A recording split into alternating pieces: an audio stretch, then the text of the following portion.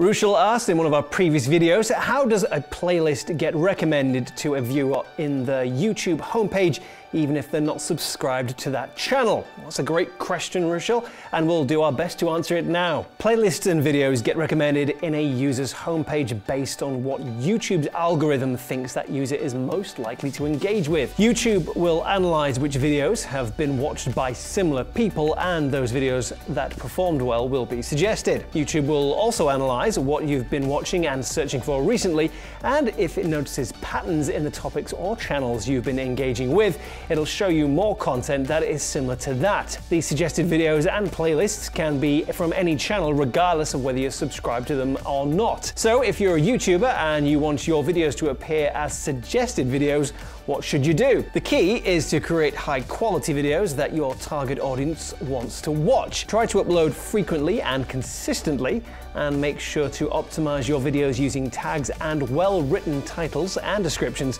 so that YouTube can understand what they're about. If you create popular videos with high retention rates that viewers like to engage with, then YouTube is more likely to start showing these as suggested videos to relevant audiences who have shown an interest in similar content. Thank you to Rushal for your question, and we hope our answer helped. And if you have any questions for us, just leave them in the comments section below.